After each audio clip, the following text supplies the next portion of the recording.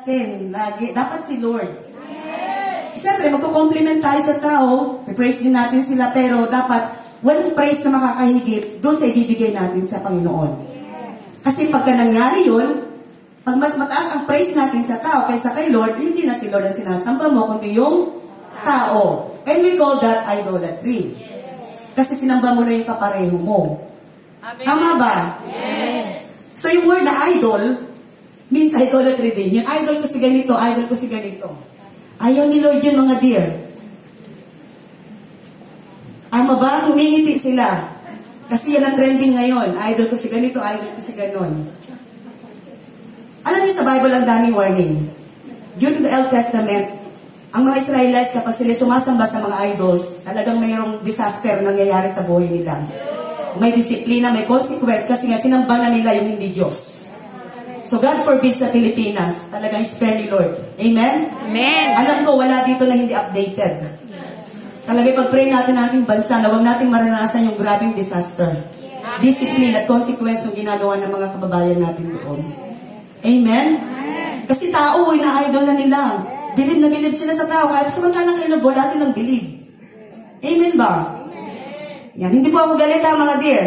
Nalulungkot lang, nagigrieve lang ang heart. Kasi ayaw ko na maranasan ng bansa natin yung grabing hirap na naman, turmoil na naman. Kasi ilang daang, ilang daang taon, ilang panahon na tayo nag, nag, naghihirap at dumadanas ng mga sufferings because of wrongdoings. At isa na nga po doon yung pagsamba sa mga tao at pagsamba sa mga Diyos, Diyosan. Amen? Okay. So, many calls to praise in the Psalm. Tama? Pag, binasa natin ang Book of Psalm o ang aklat ng awit, marami doon ang tinawag para magpuri. Number one is, sa Psalm 63, uh, chapter, uh, Psalm chapter 63 verses 1 to 5, basahin lang po natin. Pwede po kayong sumunod sa akin para ano. Yan. Psalm 63 verses uh, 1 to 5. Sabi dito ay, God, you are my God. Earnestly, I seek you. I seek you. My soul thirsts for you. My body longs for you. In a dry and weary land where there is no water. I have seen you in the sanctuary and beheld your power and your glory. Because your love is better than life, my lips will glorify you.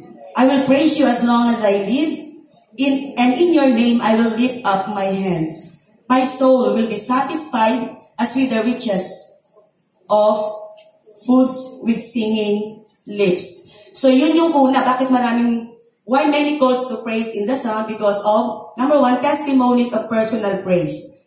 Na talagang pag nagpuri ka personally, marami kang pwedeng sabihin na ginawa ng Diyos sa buhay mo. Amen? Tama ba?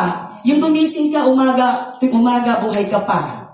Pag gumising ka, may kalakasan ka. Amen? Na kahit may mga problema, may mga iba't ibang klase ng sitwasyon tayo, we are still alive and kicking. Amen? Na kahit wala pa yung sahod natin, delay, nakangiti pa rin tayo.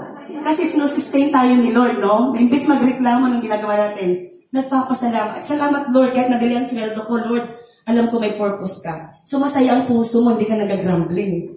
Amen ba? Yun yun.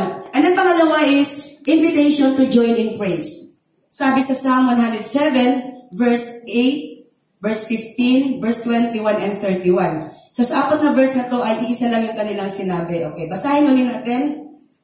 Psalm 107. Yan. Pasensya na po kasi hindi ko dala yung salamin ko, kaya kung kikit-kikit ako dito. Bible, yan. So 107 verses 8, 15, 21, and 31, sa lang po yung sinabi dito. Let them give thanks to the Lord for His unfailing love and His wonderful deeds for men. So sa apat na verses, yun lang po ang sinabi doon, pare-pareho sila. Amen? So yun yung pangalawa, invitasyon no, para mag-join tayo sa pagpupuri.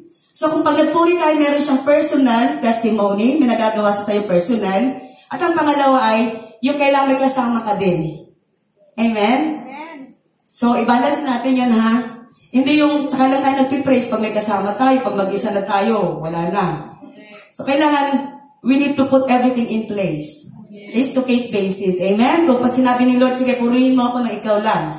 yung may personal encounter, yung mayroon kayong, kayo lang dalawa, gawin mo siya. Amen? Kaya yun yung pangalawa. So marami pa, meron din sa Psalm 135,